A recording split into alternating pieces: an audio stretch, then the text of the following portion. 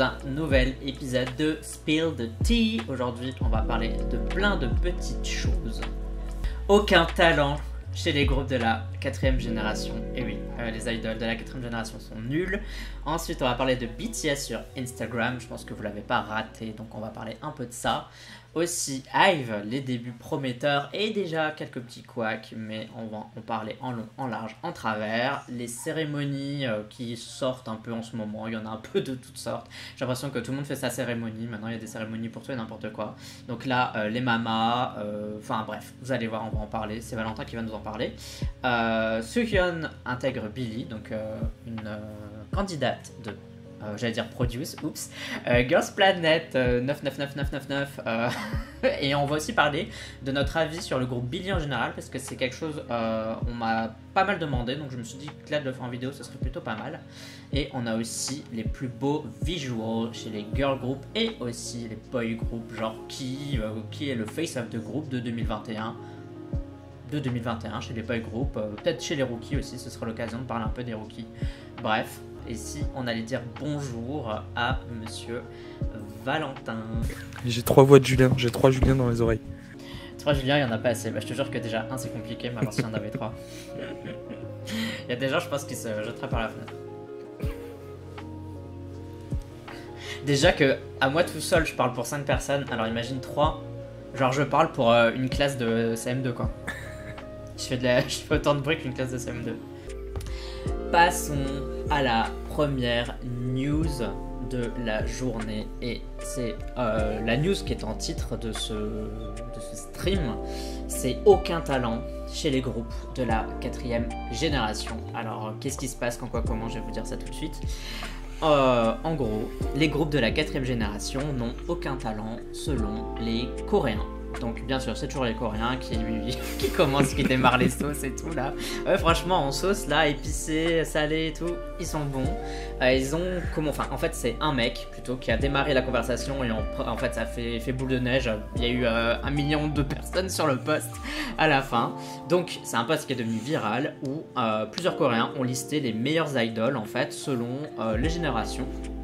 Et en fait, ils trouvent que la quatrième gêne, d'un point de vue genre talent, bah il y en a pas, tout simplement. Ils trouvent pas qu'il y ait des super bons vocalistes, ils trouvent pas qu'il y ait des super bons danseurs, ils trouvent pas qu'il y ait des super bons rappeurs. Par contre, ils sont d'accord pour dire que euh, les idoles de la quatrième gen, d'un point de vue visual, face of the group, etc., je vais même dire charisme, sont plutôt bons en fait. Genre en gros, c'est vraiment quand on les regarde, ils sont beaux, ils sont bien, ils se présentent bien. Voilà, mais il y a des gens qui ont commenté que c'était en gros des mannequins euh, sans substance, quoi. Genre qu'en gros c'était des mannequins et que c'était rien d'autre. Donc ils sont quand même assez hard euh, à critiquer les, les idoles, quoi. Donc euh, c'est vrai que voilà, pour eux en fait c'est des poupées vides. Voilà, tout simplement, c'est des poupées vides, ils sont beaux, mais ça veut rien faire. Donc ils ont quand même dit, ben. Ouais, euh, mais il y a qui était bien dans les premières gens, dans les deuxièmes gens, dans les troisièmes gens, etc. Donc, alors je vais pas tout vous, tout vous lister quand même parce que c'est long, mais en gros, ils disent que dans la quatrième gen, il n'y a pas encore de Boa, il n'y a pas de Rain, il n'y a pas de Seven, donc des gros artistes par exemple solo qui tiennent la route. Euh, pour la seconde génération, ils citent euh, Taeyeon, IU ou Yesung en genre bons vocaux. Euh, Il y a aussi Taemin, euh, Yoyeon, toujours de SNSD, euh, en, gros, en bon gros danseur. Et en rappeur, ils citent Mirio, G-Dragon ou Ciel, donc écurie YG. Donc là, c'est uniquement sur la seconde gen, mais pour eux, il n'y a personne qui rivalise avec eux au niveau de la quatrième gen. Et au niveau de la troisième génération, euh, ils citent les bonnes capacités vocales bah, du groupe Mamamoo entier. Ils trouvent que toutes les membres de Mamamoo ont des bons vocals. Euh, Yuju, donc euh, ex-membre d'E-Friend, Chen de EXO, Solji EXID, ou encore Wendy de Red Velvet. Donc pour eux, tous ces gens-là savent très très bien chanter, ont prouvé qu'ils savaient chanter, et que personne n'a encore prouvé ça dans la quatrième gen. Euh, comme bon danseur, il Lisa donc de Blackpink, Kai, qui a sorti euh, un solo il n'y a pas très longtemps avec Peaches, j'ai fait la réaction, allez-y, allez la voir. Et euh, en rappeur, ils prennent l'exemple sur Bobby, euh, Rap Monster, donc Namjoon de BTS, ou encore Suga aussi de BTS. Donc déjà là, est-ce que vous êtes d'accord ou pas? Est-ce que vous trouvez que dans la quatrième gen, ils n'ont pas encore eu le temps, on va dire, de prouver, ou il n'y a pas encore quelqu'un qui sort du lot? Valentin, est-ce que tu trouves qu'il y a des gens qui sortent du lot ou pas Après, c'est déjà Oui. difficile. C'est- a- Attends, avant que tu commences, c'est un peu difficile aussi de dire à partir de quand commence la 4 gen, machin, etc. Mais on va dire dans les groupes qui sont sortis récemment. Bah, le truc, c'est que pour moi, déjà, il y a plusieurs choses à prendre en compte avant. C'est que, alors déjà, tu vois, par exemple, on dit où sont les nouveaux rappeurs, les nouvelles rappeuses? Euh, faut savoir que vraiment, surtout, euh, on va dire la fin de la seconde gen, début troisième gen, tout ça, c'était une période où le rap était vachement mis en avant dans la K-pop. Que ce soit avec les émissions avec Show Me, the- euh, Money, and Pretty Rap Star, tout ça, t'avais vraiment quelque chose qui était axé là-dessus. Même aussi au niveau des chansons. Aujourd'hui, tu retrouves toujours des, des petites parties rap dans les couplets et tout, dans les chansons K-pop, dans même quasiment toutes les chansons K-pop.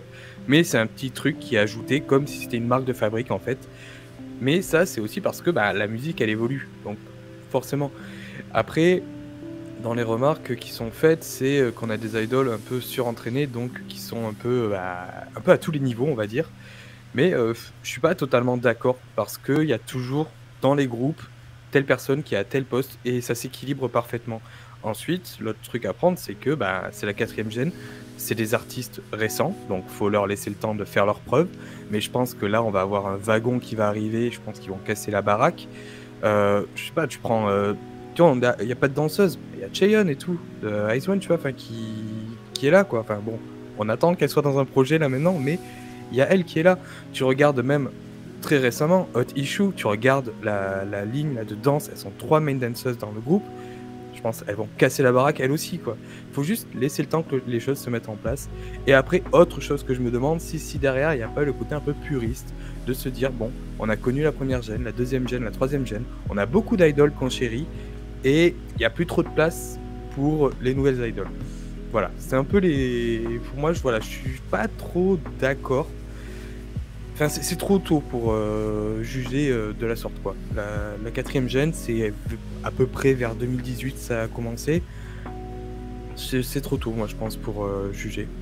Bah écoute, c'est ce qu'ils disaient. euh, sur, donc euh, là, évidemment, je précise que c'est parce que nous on dit nous, mais c'est ce qu'on lit sur les euh, sites coréens. Par exemple, ils ont dit que euh, en fait, les idoles de la quatrième gêne sont surentraînés. Donc c'est un peu ce que tu as dit. C'est-à-dire qu'ils ont tellement bossé, ils sont tellement bons en chant, en danse. C'est vrai que c'est difficile aujourd'hui de dire que les idoles sont nuls ou n'ont pas de talent. Mais qu'à cause de ça, c'est-à-dire qu'ils sont bons partout. Vous voyez, genre ils sont très hauts, mais ils sont excellents nulle part. Alors que par exemple, bah, je vais prendre quelqu'un qu'ils ont cité, Taeyeon, c'est pas une excellente danseuse, quoi. Tu vois, chez les SNSD, on n'a jamais dit qu'elle était bonne danseuse, voire excellente. Elle fait juste le taf, tu vois. euh, donc, elle est en synchro avec euh, les, autres danseurs, euh, que ce soit, euh, dans tout ce qu'elle a fait, quoi, tout simplement. Mais elle est quand même au niveau de sa voix, elle est genre excellente. Et est-ce que là aujourd'hui, on a des idoles qui sont un peu comme ça, qui sont pas très bons dans certaines catégories, mais qui sont excellents ailleurs, tu vois? Est-ce que ça, ça existe? Parce que j'ai l'impression que maintenant, ils sont tous très très très très bons. Mais peut-être il y a personne qui sort du lot. En fait, c'est peut-être ça aussi ce que, ce que les gens disaient. C'était que bah voilà, en fait, c'est genre juste, ok, ils sont bons, mais est-ce qu'il y en a un qui, tu vois, qui sort du lot, quoi? Ça, on verra avec le temps. hein. Tu vois, là, je, regarde les commentaires. Je vois euh, Ning Ning passer. Ning Ning, euh, bah, elle a une voix de ouf. Et franchement, clairement, ça va être une très très bonne vocaliste. Sauf que Espa, ça fait à peine un an, quoi. Comment on peut juger sur euh, des années de K-pop la carrière de Taeyeon, par exemple? Comment tu peux juger la carrière de Ning Ning? Celle de Taeyeon Et je pense que on viendra dans 5 ans. Dans 5 ans, quand euh, Ning Ning aura fait sa carrière, on... là, on pourra discuter pour dire, ok, maintenant, tu vois jusqu'où elle est allée en tant que vocale, quoi. Et euh... non, non, ouais, je suis. Faut laisser le temps aussi, ouais, de se faire quoi. euh. Là, par exemple, ouais, je vois Ryujin aussi de passer. Je pense c'est Ryujin Detsu. Ouais, et... Ryujin, elle a quelque chose. Et Ryujin, enfin, on parle d'elle quoi. Elle Mm. présente, enfin. Enfin, pour moi, pour être honnête, pour moi, il y a des stars. Ouais. c'est- clair et net, il y a des stars. Il y a des gens dans NCT, il y a des mecs, tu, quand tu vois les MV, je connais pas le nom des membres d'NCT, je suis désolé, il y en a trop. Je connais pas leur nom, mais il y a des têtes, quand tu les vois, tu les reconnais direct et tu dis, ah, ça c'est le mec de NCT. Et je me dis, si je reconnais ça, moi qui ai un peu du mal avec les boy groups généralement, c'est qu'il y a quelque chose. Quand j'ai vu euh, Nikki de Enhypen, moi il m'a scotché, tu vois. Bon, après, bien sûr, c'était pas, euh, c'était pas par son chant, par sa danse, mais je trouvais qu'effectivement il était vraiment très charismatique et je me dis bah s'il a déjà le charisme ce qui est quand même je pense de tous les trucs à avoir c'est le plus difficile parce que le chant tu Mm. t'entraînes tu peux devenir meilleur chanteur euh, t'es pas bon en danse bah tu danses de plus en plus tu t'entraînes tu deviens meilleur danseur mais le charisme c'est difficile de- d'en gagner tu vois et je me dis s'ils ont déjà ça Voilà quoi. Et je trouve, après, bon, forcément, ça m'a bias, mais je trouve que Kim Lip de Luna, je trouve qu'elle dégage un truc euh, super mystique, super mystérieux, elle est envoûtante. Et, euh, et voilà quoi, genre, il y a des idoles comme ça, et euh, on va parler après de ce groupe-là, mais euh, je trouve que la line-up de Hive, euh, donc le nouveau groupe de la Starship, je pense que les 6 elles tiennent plutôt la route, en tout cas. Niveau charisme, quoi. Mais c'est vrai que Stray Kids, euh, la rap line est plutôt bonne aussi. Enfin, j'ai l'impression qu'ils savent tous plus ou moins bien rapper. Mais euh, c'est vrai que la rap line est plutôt bonne, quoi. Et puis bon, il y a aussi des gens qui composent, quoi. euh, Free Après, Ratcha, donc. euh, Après, après aussi, tu vois, comme je disais, là, les, les trucs de musique, ça a évolué parce que bon, autant avant, là, je, je, sais, je repense, je, je reviens sur le rap et tout, la question du rap. Mais ouais, je me rappelle quand j'ai, moi, quand je suis arrivé à découvrir la K-pop, c'était la période où c'était vachement mis en avant. T'avais vraiment des, t'avais Doki, t'avais Matt Clown, t'avais Yeti, t'avais euh, Kitty B, t'avais vraiment toute cette vague euh, de, de rappeurs et de rappeuses. T'avais même Hyoyeon aussi qui, qui faisait ces trucs. Enfin, limite, tu vois, enfin, c'était eux qui étaient le plus mis en avant. Mais aujourd'hui, ça a changé, quoi. Enfin, Hmm. c'est c'est évolué avec le temps, quoi.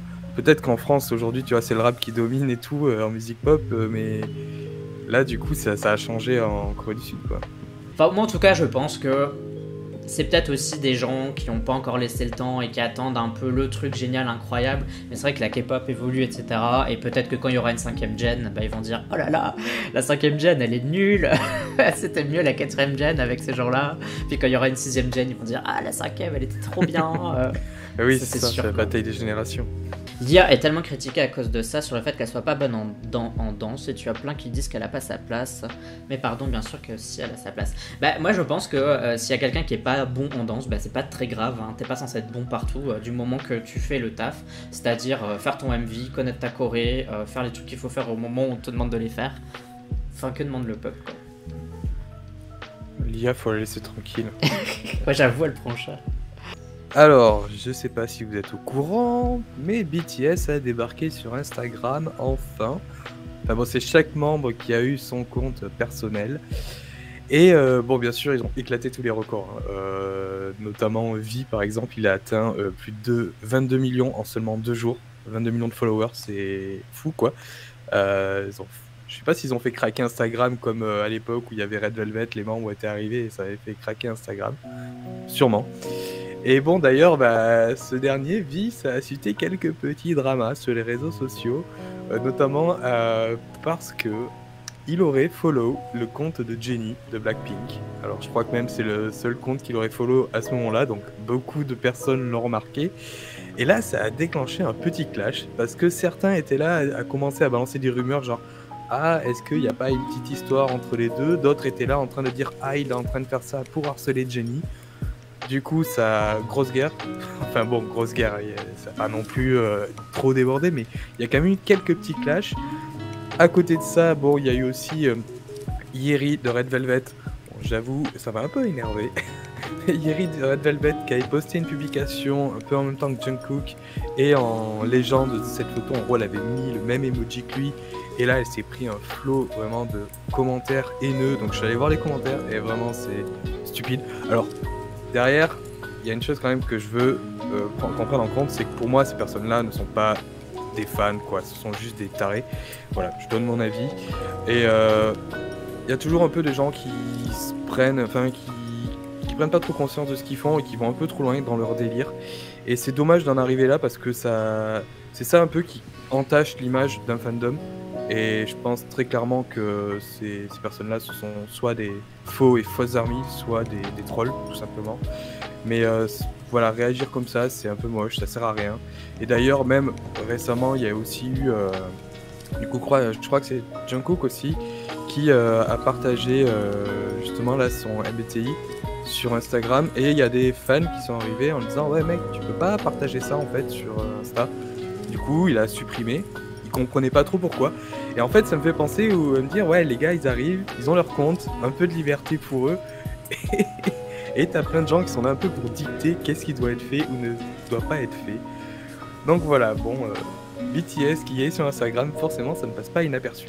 Mais je trouve que c'est ouf à quel point, genre, et les mecs, le pire c'est que eux, tu vois, ils ont le contrôle sur rien. Eux, ils créent juste leur petit compte, ils sont contents, ils font leur life et tout. Il se passe trois trucs. Le gars, il follow quelqu'un sans faire exprès, donc il unfollow. Enfin bref, il fait sa vie quoi. Donc ce que nous, tous sont faits. Et là, c'est genre, euh, t'as l'impression qu'il y a des gens qui sont là derrière avec des pots de sauce, tu vois, ils sont en mode, allez, j'attends le moment où tu dérapes une seule seconde et je fais, allez, go, go, go. C'est vraiment ça, quoi, c'est go, go, go. c'est un peu comme les, les Army Men dans Toy Story, tu sais, euh, quand ils, les petits verts et le gars, il a avec son talkie-walkie, il fait, allez-y, let's go, à l'attaque. Ouais, je sais pas ce qui se passe. En vrai, j'ai suivi de loin le truc. j'ai juste lu. Euh, enfin, j'ai vu sur Mattel, là, genre Save Jenny. Euh, genre euh, enfin aider Jenny, je sais pas quoi. Je me suis dit mais what the fuck. Mais en vrai, les gens qui s'occupent de ça, mais ils ont des soucis. Franchement, ça, ça devient Enfin, ça devient médical quoi, genre c'est d'un ressort médical là, faut les aider quoi, genre c'est pas possible quoi, genre vraiment. Qu'est-ce que vous ouais, en pensez? Mais, après, c'est vrai qu'on en parle et on parle souvent, du coup, voilà, euh, de dire soit les Blink, soit les Army, c'est toujours le boxon. Euh, Bon là j'ai pas envie qu'on en rajoute euh, ça, on rajoute ça sur le dos des armies par exemple. Euh, c'est pas la majorité. Même moi je me demande si c'est vraiment des, des qui ont fait ça. Donc euh, c'est dommage voilà parce que ça entache une fois encore ce fandom qui quand même fait beaucoup de choses, qui est hyper présent dans la K-pop, qui est il y a beaucoup de personnes. Ouais ce fandom aussi a contribué quand même à élever en quelque sorte si la K-pop, enfin en tout cas là aujourd'hui ces dernières années. Et c'est dommage, ouais, qu'il y ait ça encore, mais bon, j'ai l'impression que c'est un peu euh, la rançon de la gloire. Et ouais, c'est dommage, c'est incroyable ça, BTS ont enfin un stam, cela fait tellement polémique. À mon avis, on n'est pas euh, à la fin là, je pense que c'est juste le début. Genre, rendez-vous dans une semaine ou dans deux semaines, on refait un stream, on va vous dire Vous savez quoi, il y a Ariana Grande, elle est dans la sauce à cause de Suga ou je sais pas quoi. Genre, euh, Céline Dion a reçu des menaces de mort parce qu'elle a follow euh, Suga sans faire exprès. Euh. bon, eh bien, on va passer à la troisième news. Alors, est-ce que vous avez écouté les débuts de Hive Parce qu'apparemment, c'est comme ça qu'on le prononce, Hive. Donc, Hive a un peu cassé la K-pop là récemment. c'est le nouveau girl group de la Starship. Donc, Starship, c'est 6 stars, enfin, c'était 6 stars, c'est Wojo Sonyo.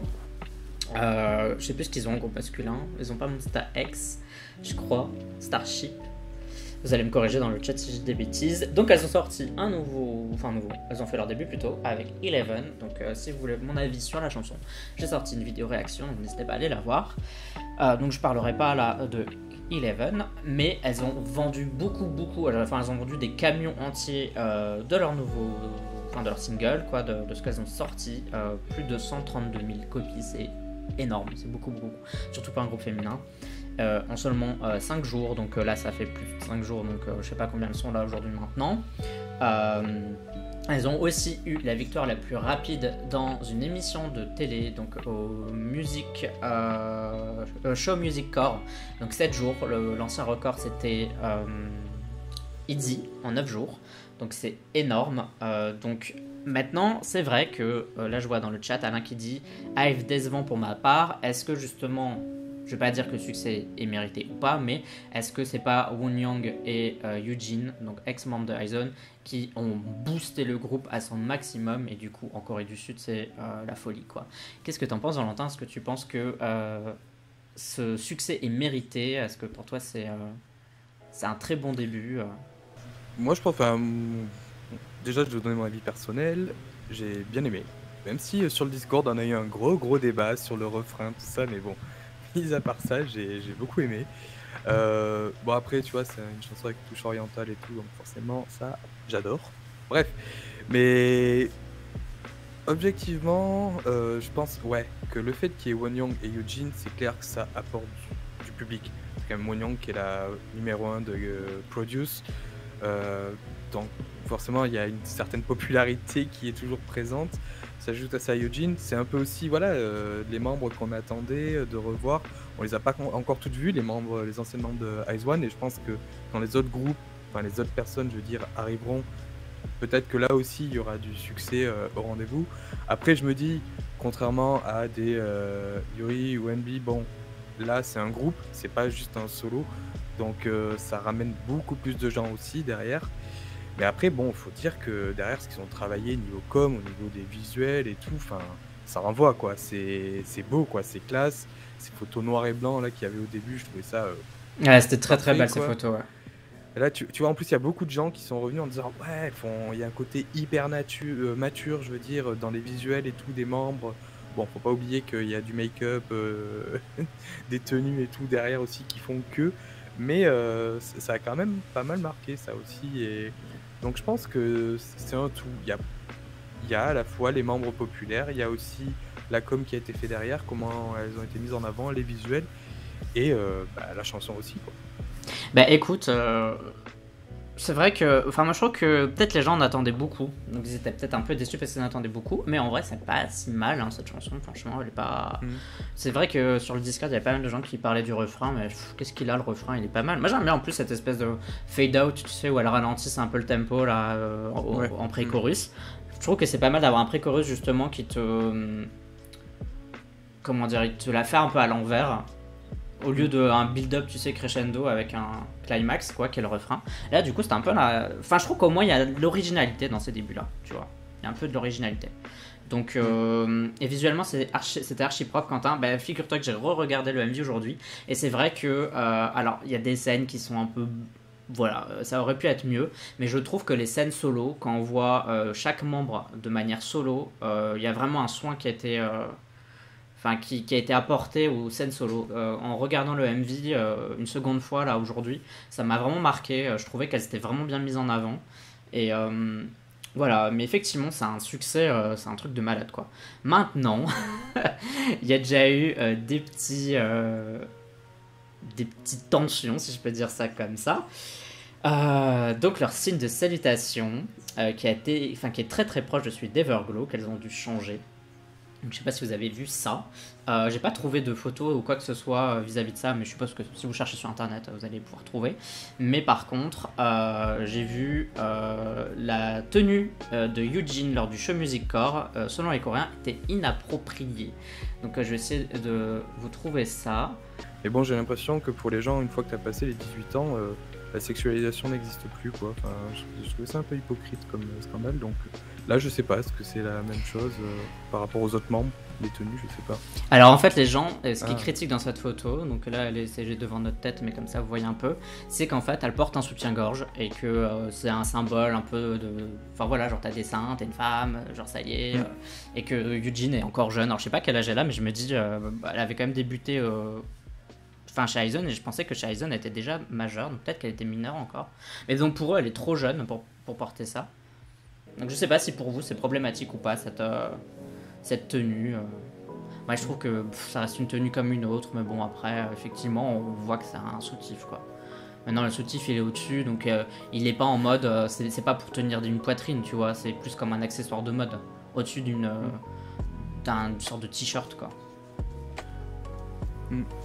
Que, je comprends pas tu vois ce que je, disais juste avant, c'est enfin si tu veux derrière combattre cette sexualisation des idoles fais-le de manière générale. Fais pas juste euh, là un cas parce que tu te dis ah moi là personnellement je trouve ça gênant. Non, c'est quelque chose qui doit être travaillé de manière générale quoi, je hmm. pense dans la K-pop. Parlons des cérémonies de fin d'année. Euh, qu'est-ce que tu as à nous dire dessus, Valentin? Nous t'écoutons. Alors, les cérémonies de fin d'année, bon, c'est un peu la période, donc euh, en Corée du Sud, il y a, là pendant deux mois, on va être servi. Euh, donc la première grosse cérémonie musicale s'est déroulée le week-end dernier. C'était les MMA, les Melon Music Awards.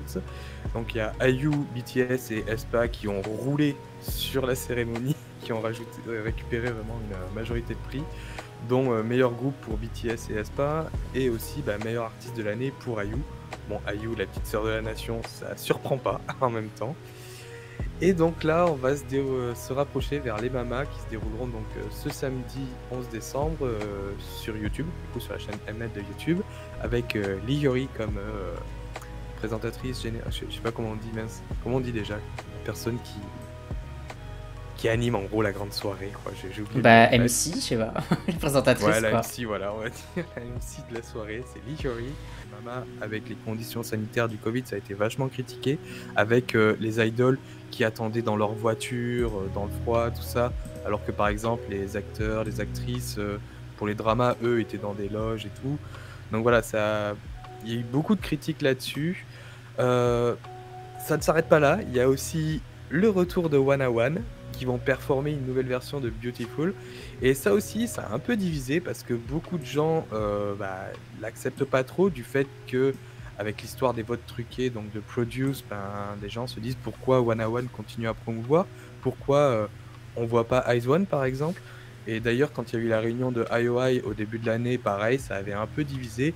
En gros, les votes ont été créés, appliquer en gros la punition, ces groupes ne doivent plus exister. C'est un peu pour le parti contre, on va dire, l'idée qui revient, et bien sûr, euh, bon, d'autres personnes qui euh, disent ouais, non, je voudrais voir Ice One, ou d'autres qui soutiennent l'idée en disant ben non, enfin, c'est pas leur faute aux artistes, donc ils peuvent continuer, euh, continuer pardon, à venir se produire. Donc voilà, un petit résumé, mais après les mamas, bon, c'est vrai qu'aujourd'hui ça a perdu de sa superbe, sans forcément parler du Covid, donc euh, du fait que bah, ça soit plus la grande salle immense, le grand show, c'est aussi pour le public, ça a un peu perdu de sa superbe, sa superbe pardon, les mamas. Bah, je t'avoue que les mamas, bon, c'est vrai que je j'ai jamais regardé euh, l'émission en entier, je regarde toujours la, rediff. Euh, genre 2-3 jours après, et genre seulement les grosses performances, mais tout ce qui est vote, tout ce qui est artiste qui gagne, etc., j'ai jamais trouvé que c'était super représentatif de la réalité. Alors, il y a des awards qui sont logiques, des récompenses logiques, tu vois, genre bah si c'est genre IU euh, forcément elle vend de ouf, les gens l'adorent, ça me paraît normal qu'elle gagne. Euh, si BTS gagne des trucs, bah, ça me paraît normal si les Coréens les adorent et ils veulent qu'ils gagnent. Mais parfois, tu as des trucs, genre par exemple, euh, on savait qu'ils voulaient faire performer bah, des artistes bien, enfin pas bien de chez eux, mais avec qui ils ont des bons contacts, etc. Donc sur Mnet, on avait Aizen par exemple avant. Donc là, on allait avoir Kepler avant le report de le report de, de, trucs là à cause du Covid. Mais euh, donc tu sens qu'il y a un peu. Bon, après, c'est normal, tu vois. Genre, ils ont une plateforme, autant promouvoir leur artiste. Mais tu sens que s'ils font ça, euh, juste pour un, la promotion d'un artiste, ils peuvent faire pire pour d'autres. Quoi. Il y a des gens qu'ils invitent jamais, il y a des gens qu'ils invitent et puis on leur dit Ah, vous allez devoir faire euh, vos 5 titles en 30 secondes. Et en mode Comment? Il y a, tu as plein de groupes qui sont méritants et qui ne gagnent rien. Bah ouais, c'est vrai. Bah il y en a, je pense, ils pourront faire n'importe quoi. Genre même sauter dans des cerceaux de feu, euh, on leur filera jamais rien. Donc, euh, genre il y en a, il faut qu'ils fassent le buzz de ouf, sinon. Euh, Alors attends, il y a Quentin qui dit cette année il y a une partie décidée par un jury, mais c'est un jury Mnet, n'oublions pas. Ouais, voilà. c'est pas, pas incroyable. Bref, ouais, je pense que ce qu'il faut garder de ces. Enfin, moi, du coup, je regarde pas parce que j'ai pas envie de cautionner ça. Euh, je regarde pas les trucs en live et j'ai l'impression aussi qu'on se fout de ma gueule et de perdre mon temps. Mais j'aime bien regarder les performances quand elles sont disponibles après parce que souvent elles sont différentes, on a des versions différentes. Euh. Mais je pense que c'était lors d'une euh, cérémonie de récompense qu'on avait eu Cry for Me l'année dernière, non? Si je dis pas de bêtises. Donc tu vois, genre, ça vaut aussi le coup de temps en temps de, de, regarder quoi. Bah, après, je t'avoue, de base, je me dis, ouais, je vais pas regarder. Au final, je finis par regarder. Tu vois, l'année dernière, pareil, j'ai dit, ouais, je vais pas regarder. Puis finalement, j'ai regardé, j'ai vu Cry For Me, j'ai vu Sana, j'étais ouf, quoi. Donc, euh, mm. je me dis. mais je veux dire, t'aurais pu le voir plus tard. Tu vois ce que je veux dire T'étais pas obligé de le voir en direct. Ouais, je sais pas, mais tu vois, le fait de le commenter en même temps sur le Discord, ça ajoute un petit plus. Mm, c'est vrai. Donc, venez sur le Discord, comme ça, vous allez kiffer les mamas. Donc, prochaine news, on est ready? On va parler de ce de Girls Planet 99999999. Est-ce que vous avez regardé euh, du coup ce Survival? Est-ce que vous avez aimé ou pas? Et euh, est-ce que vous aimez bien cette membre? Donc euh, je vais vous montrer qui c'est. C'est donc cette membre qui a fait Girls Planet. Elle est arrivée bah, vers la fin, mais sans faire partie du groupe, malheureusement. Donc je pense qu'elle était dixième ou onzième, si je dis pas de bêtises. Et euh, en fait, euh, ils vont la rajouter au groupe Billy. Donc elle va changer de nom. Je pense qu'elle s'appelle Sean maintenant, Sheon ou un truc comme ça. Mais euh, voilà, elle va faire partie du groupe Billy. Je vais vous aussi un peu vous montrer le groupe Billy si vous ne l'avez toujours pas vu, qui a fait ses débuts il n'y a pas très longtemps. C'est le groupe Billy. Elles ont fait une sortie qui s'appelle Ring X, enfin X Ring. Donc nous revoilà avec Monsieur Valentin. Euh, donc tout d'abord, euh, toi qui as suivi Girls Planet, euh, qu'est-ce que tu peux nous dire de cette membre, moi qui n'ai pas suivi Girls Planet? Est-ce qu'elle mérite de faire partie dans un groupe? Est-ce qu'elle aurait mérité de faire partie de Kepler Franchement, ouais. Alors au tout début, c'est vrai que je l'avais pas trop trop marqué au tout début. Elle avait été sauvée et ça dans les premières éliminations. Et c'est là après qu'elle a vachement été mise en avant. Surtout quand elle a fait la performance là à 3 euh, je sais plus sur quelle chanson c'était, vous allez m'aider dans le chat, j'ai un peu oublié, où elle a vraiment tout cassé. Et on a vu que vraiment ses skills arrivaient petit à petit et Et surtout, tu sentais vraiment que c'était une trainee qui était prête, quoi, qui était prête vraiment à intégrer un groupe. Mm. Et clairement, euh, je la voyais dans, le groupe final. Même si, bon, forcément, il y a quand même plein de participantes. Euh, elle n'était pas dans mon top 9, mais elle aurait été dans le groupe. J'aurais dit, ouais, je valide, c'est complètement mérité. Bon, après, ça va, c'est vrai qu'on n'est pas trop triste parce qu'elle a intégré euh, Billy. Enfin, c'est ce qu'on se, on se disait tous. On disait, ah bon, c'est pas grave, elle va intégrer un groupe. Puis quand il y a eu les débuts de Billy et on l'a pas vu, on s'est dit, oulala, qu'est-ce qui se passe? On a perdu. et finalement, elle, est là. bah écoute, euh, j'ai vu que deux épisodes de Girls Planet et je trouvais que, euh, sans les connaître bien sûr, les membres, j'avais vu aucun épisode, il y avait des membres, enfin des des trainees que je trouvais vraiment charismatiques, elle en faisait partie. Donc euh, je crois qu'elle avait vraiment une bonne tête, quoi, tout simplement. Je crois qu'elle dégageait vraiment quelque chose. Et même si je la connais pas, j'ai une espèce de. Je, comment dire Elle m'attire d'un point de vue. Euh, elle m'intéresse, quoi. Je me dis, ah, cette mm, personne a l'air intéressante. Et du coup, je suis content de pouvoir la voir euh, dans le groupe Billy. Et donc, je sais pas pour vous si vous trouvez que c'est bien ou pas qu'on la rajoute dans le, dans le groupe Est-ce que vous trouvez que. Moi, je pense que c'est mieux là, tant que le groupe n'est pas encore trop trop connu, qu'elles ont sorti qu'un titre, euh, je pense que c'est mieux de faire ça maintenant. Bah, après, après, surtout, je pense là, quand. Euh... Quand elle est sortie, bon, ils, ils, ont du ils avaient déjà commencé la préparation de la promo pendant laquelle elle faisait Girls Planet, donc je pense que c'était un peu euh, chaud de lui dire Ok, tu viens de finir Girls Planet, allez vite, euh, tu remets ta tenue et tu vas dépêcher à faire le début.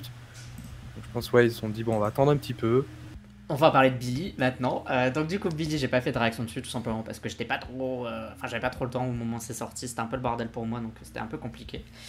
Mais euh, ce que j'en ai pensé, euh, pour qu'on en parle un peu, qu'est-ce qu'on pense du début de Billy euh, Je dois avouer que quand j'ai vu les photos teaser, parce que sur le Discord on est spammé de photos tous les jours, donc j'ai pu voir les photos teaser et je trouvais que le groupe avait vraiment de la gueule quoi. Il y avait un petit style années 60, années 70 dedans, un truc super nostalgique. T'as l'impression que Enfin, elles sont chez elles, tu vois, mais il n'y a pas d'internet, genre il n'y a pas de télé, il n'y a rien, tu vois, genre on s'emmerde un peu. Et tu sais, c'est un peu genre, ouais, jeune fille qui s'emmerde euh, l'été, quoi. Genre euh, l'été 68, 69, euh, genre tu vois, 72, enfin 1972 bien sûr.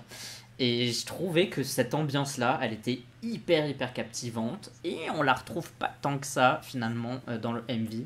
Alors après, bien sûr, on est Enfin, la K-pop, c'est toujours comme ça. Hein. Tu vois des meufs habillées en ange, et en fait, après, euh, le MV, ça va être des clowns et tout, et tu te dis, mais ils sont passés où les anges, et tu comprends pas pourquoi. Et en fait, non, bah, c'est juste parce que les photos c'est des anges.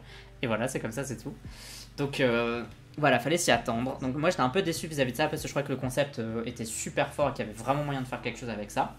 Au niveau de la chanson, euh, je sais qu'il y a pas mal de gens qui n'ont pas trop aimé. Je trouve que c'est plutôt intéressant. Je peux pas dire que c'est une chanson que j'adore, mais euh, je trouve que quand je l'écoute, il se passe quelque chose. Je trouve que c'est, c'est super intéressant.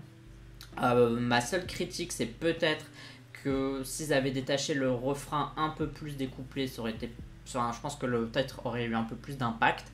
Et aussi, en fait, il y a une espèce de break qui apparaît genre pile à la troisième minute. Et en fait, à cette troisième minute, moi je me dis, ah bah ça y est, c'est fini. Et en fait, non, ça redémarre pendant genre encore une minute ou je sais pas quoi. Et je me suis dit peut-être que j'aurais cut le, la chanson à 3 minutes pile pour que tu aies envie d'y retourner en fait. Genre que tu as envie de la réécouter une seconde fois. Parce que là, j'ai l'impression qu'ils l'ont allongé pour pas grand chose. Donc euh, voilà, c'est plus, c'est plus de la production là que je parle plutôt que le groupe en lui-même, etc. Mais euh, voilà, je trouve que c'est plutôt, euh, c'est plutôt pas mal. Et j'ai enfin c'est un groupe qui me donne envie de voir la suite tout simplement. Et toi est-ce que tu as aimé ou pas Billy? Soit euh, mon Nemesis enfin ma Nemesis. Alors déjà je vais parler du concept tout ça. Donc ouais le concept comme toi vraiment quand je l'ai vu ça m'a plu de ouf. Je me rappelle même je suis arrivé sur le Discord j'avais posté la photo ouais les, les gars et tout mais c'est génial hein, on est d'accord c'est trop génial et tout les visuels et tout c'est ouf ça claque. Ce côté rétro à l'année 70 pareil j'aime bien en plus, là, je viens de voir le teaser donc, de Snowy White, euh, leur comeback là, pour décembre, euh, qui, euh, voilà, qui mélange horreur et tout, un peu voilà, à l'époque des, des, slashers et tout, des, dans les années 70, fin, fin des années 70, début des années 80. Et ça, ça, ça, attire de ouf, vraiment. Il y a des visuels, j'adore les, les, coupes et tout, le look. franchement, c'est parfait. Et bon, musicalement, alors je vais dire déjà, les B-sides du mini-album, j'ai beaucoup aimé, mais par contre, la title. Je suis désolé pour ceux qui ont aimé, mais pour moi c'est insupportable. Je l'ai écouté une fois et demie, je ne peux pas l'écouter plus. Vraiment, je... voilà, je veux pas en dire plus pour pas euh, gêner ceux qui ont aimé. Mais euh, non, pour moi, c'est un grand nom, Ring Ring. Les j'aime beaucoup. J'attends de voir Snowy White. Je suis pas fermé après à la, suite de ce groupe.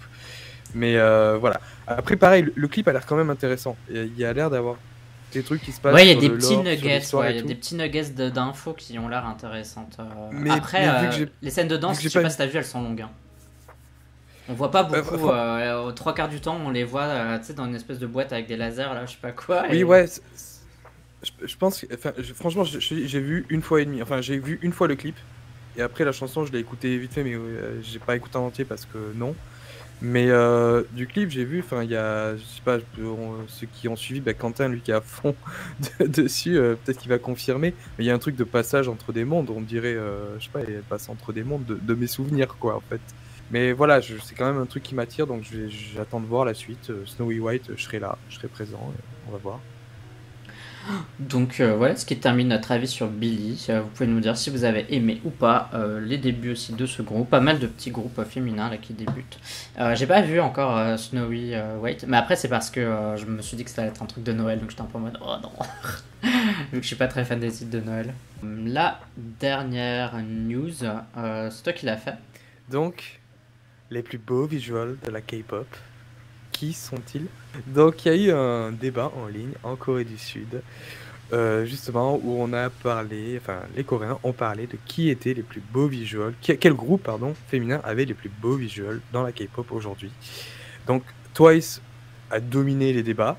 Mais euh, il y en a un autre groupe quand même qui est, re- qui est souvent apparu, Red Velvet. Comme par hasard. Et euh, donc voilà. Donc, après, c'est pas étonnant aussi avec SM. On sait quand même SM vont pêcher les meilleurs visuals quand même. Ils vont former aussi euh, les meilleurs visuals. Et je sais pas, on le voit quand même avec euh, les groupes, euh, comment ils évoluent avec le temps. Et donc, bah, c'est le moment aussi de demander, toi, Julien, quel est ton avis là-dessus? Quel est pour toi le groupe qui a les meilleurs visuals, féminins, masculins? Et vous, le chat, pareil, donnez votre avis. Alors globalement, c'est dur hein, quand même. Euh, c'est dur. En visual. Bah, je trouve que dernièrement, je trouve que Hive là, elle se démerde pas mal. Je trouve vraiment que les 6, elles sont, elles sont toutes, euh, elles apportent tout un truc. Euh, Hypen aussi, euh, je trouve qu'il y a quelques membres qui, voilà, ils ont une espèce d'aura et tout. Enfin, genre vraiment Hypen, c'est, je veux dire, une réussite. TXT aussi, je trouve que les, les, les mecs tiennent la route. Enfin, tu sais, là, on parle vraiment de groupe, une cohérence globale, tu vois. Je trouve que les groupes un peu comme Luna, le problème c'est qu'elles sont 12. Alors moi je trouve qu'elles sont les 12 belles, mais forcément quand il y a 12 membres, t'es euh, forcément obligé un peu de les comparer, de voir qui fait quoi, qui... tu vois ce que je veux dire? Ouais. Et c'est pour ça que par exemple pour Twice aussi, elles sont 9. Et du coup, tu, forcément, tu les compares, tu vois, tu te dis, ah oui, non, mais celle-là, elle est mieux que un tel. Alors que tu vois, Red Velvet, elles sont 5. Et donc, du coup, Ouais. c'est c'est plus facile d'avoir une espèce de, de, de truc cohérent, quoi, entre... Et c'est vrai que les... les... Enfin, moi, je, je trouve euh, Irene vraiment euh, très très belle. Vraiment, c'est pas... C'est pas une fausse visual, quoi. Genre, vraiment, elle rigole pas. Mais même. Solgi, quoi. Solgi, euh, je trouve qu'elle a vraiment un truc, quoi, aussi. Enfin, bref, tout... Voilà, je sais pas. En fait, je pourrais te sortir des noms de, de membres plutôt que des noms de groupes. Euh, Ouais, ouais, il y a les noms de membres, ouais, mais c'est vrai que ouais, Red Velvet, pour moi, bon, c'est c'est Red Velvet au niveau visual, mais comme tu dis, le fait qu'elle soit 5 aussi, ça, ça aide beaucoup plus à visualiser, visualiser le truc, pardon. Et puis même aussi, enfin, tu vois, là, genre, aujourd'hui, Red Velvet, Kelly, comment elle a glow up de ouf, enfin, c'est Elle a plus la même tête. c'est incroyable. Ou même, il y a un traitement aussi au niveau du groupe, où il y a le côté, un côté quelque chose de peu plus mature, déjà depuis Psycho, même, euh, vraiment. Et, et c'est bien de les voir aussi, en gros, avec un visuel dans les clips, tout ça, qui, où elles font leur âge, quoi, déjà, aussi, c'est bien. De pas trop euh, infantiliser non plus. Et ouais, les visuels aujourd'hui, c'est incroyable chez Red Velvet, quoi. Mais après, bon, quand même d'autres groupes. J'ai un peu regardé, réfléchi et tout. Je pensais euh, Oh My Girl aussi. Franchement, je trouve quand même que les visuels de Oh My Girl, elles sont très très belles. Et euh, pour les J'aime bien Beanie bah, euh, je dirais- chez oh my, Hmm Oh My Girl. Beanie chez Oh My Girl, je trouve qu'elle a un truc. Je trouve qu'elle est. Je sais pas, à chaque fois que je la vois, je trouve qu'elle a vraiment quelque chose, Beanie. Dans, déjà dans Oh My Girl Banania, la, tu sais, la seule unit là, je trouve qu'elle.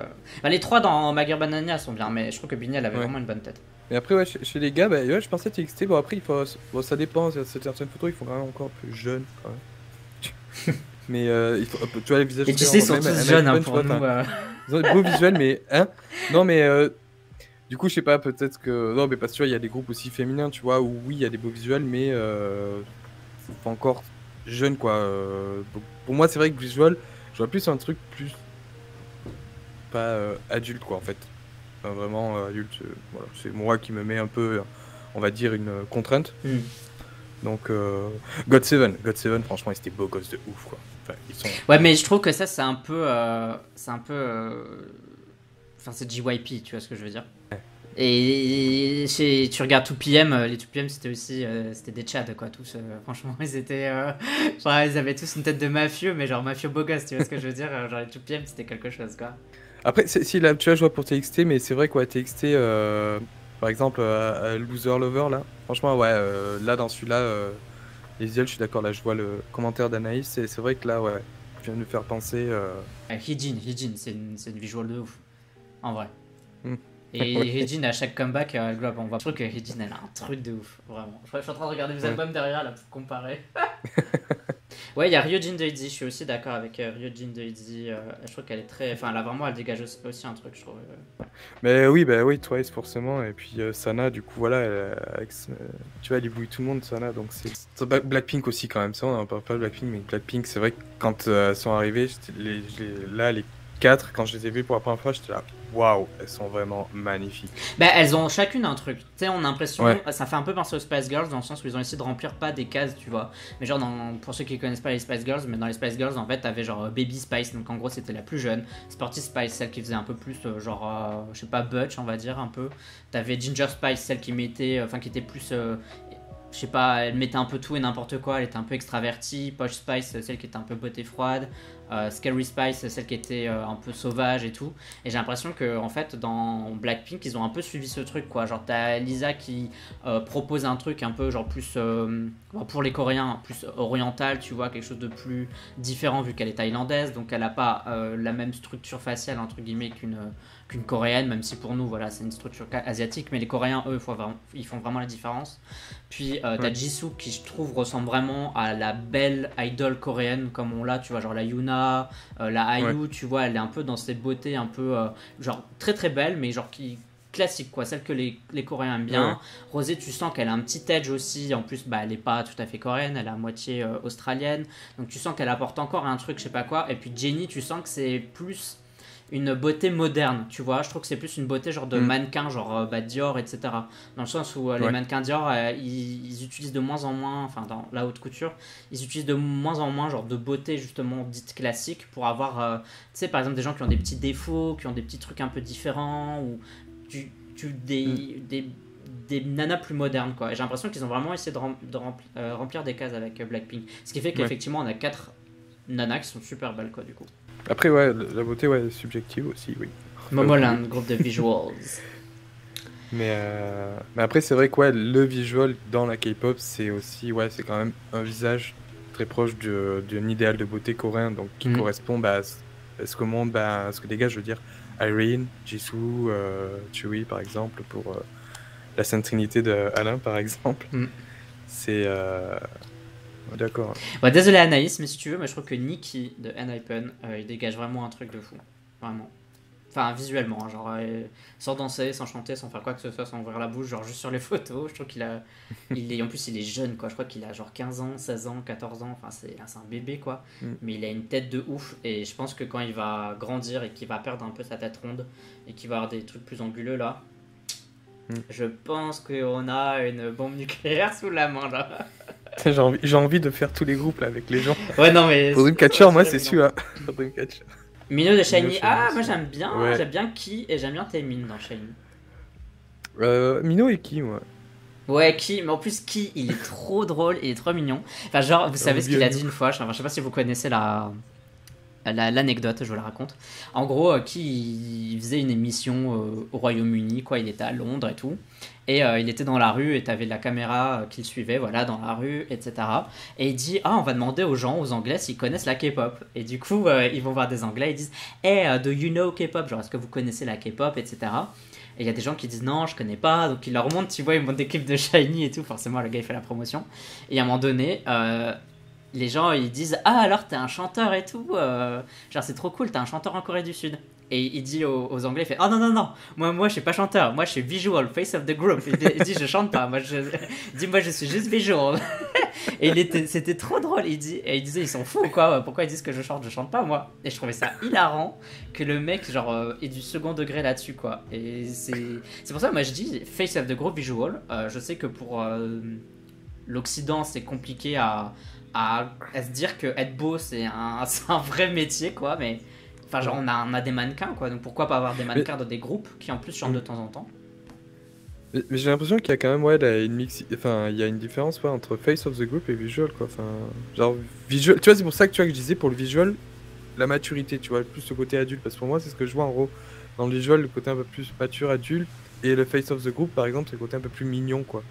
Mais c'est un peu compliqué euh, de. Parce que je Mais sais c'est que- compliqué, ouais. Il n'y a pas de Enfin, charte. pour, pour moi, il y avait visual point, et puis il y a des gens qui ont décidé de nous casser la tête et de dire Oh, tiens, on va diviser, on va faire deux catégories face, face of the group. Maintenant, je pense qu'effectivement, par exemple, on va parler de Momolen, peut-être que la visual dans Momolen ce serait Nancy, puisque objectivement, voilà, elle est super belle, etc. Mais face of the group, c'est euh, Nancy. Ah oui. Mais euh, peut-être que la face of the group c'est Joey parce qu'on la voit partout dès qu'on parle de Momoland. Genre celle, mais tu vois, du coup j'ai l'impression à quoi ça sert d'être Mm. visual si t'es même pas face of the group. Tu vois ce que je veux dire? Genre, Ouais. t'es justement t'es visual parce que t'es la face of the group. Tu vois ce que je veux dire? Parce que t'es la personne qui vend le groupe. Donc j'ai l'impression que c'est. euh, Mm. Ouais, Alain dit face of the group pour moi c'est le côté popularité, visual c'est le côté purement beau de la chose. Effectivement, ça peut. Voilà. Et tu peux être le plus populaire et le visual de ton groupe. Reçu mon album Not Friends. Version Yves, voilà. Le Je mien, attends, on dire ça. pas? Ah oui, il est là. Et elle est trop belle, Yves. Aussi. Je l'ai mis là. J'ai mis là et l'autre il est là-bas au fond, mais il brille de mille feux à cause des lumières là, donc on voit rien. C'est juste un miroir euh, qui reflète. Et euh, le photobook de Kim Lip est le plus beau, bien évidemment, parce qu'elle est visual. Euh, on va terminer ce petit, euh, ce petit spill de tea. Est-ce que vous avez apprécié les news, etc. Euh, Dites-le nous euh, bah, dans le chat et dans les futurs commentaires euh, de la vidéo quand je la remettrai en ligne, la rediffusion. Abonnez-vous à la chaîne de Monsieur Parapluie et faites tourner. Ouais, faites tourner. ça fait vraiment genre. Tu sais, quand on était au collège, j'avais vas-y, fais tourner, ce truc c'est trop bien. bah, je vous remercie à tous et à toutes de nous avoir suivis pour ce spill de tea. On revient la prochaine fois, c'est-à-dire la semaine prochaine ou la semaine d'après. On sait pas trop encore, on va en discuter avec Valentin, on, on tâtonne un peu pour le moment.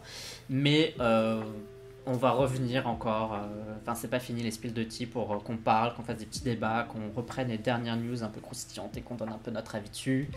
Euh, bah, vous pouvez suivre Valentin sur j'ai pas le temps.kpop. Euh, Ouais.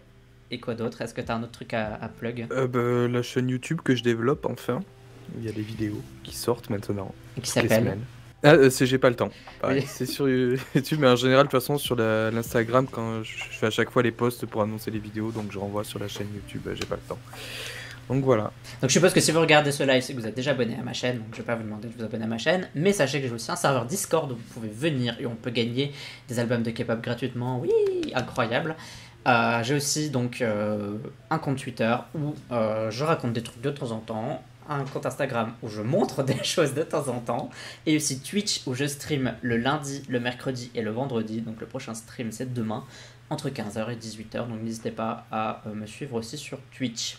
Donc je vous remercie à tous et à toutes d'être venus et euh, on se dit à la prochaine pour un autre spill de tea. Merci. Ciao ciao, bye. Ciao, ciao, Merci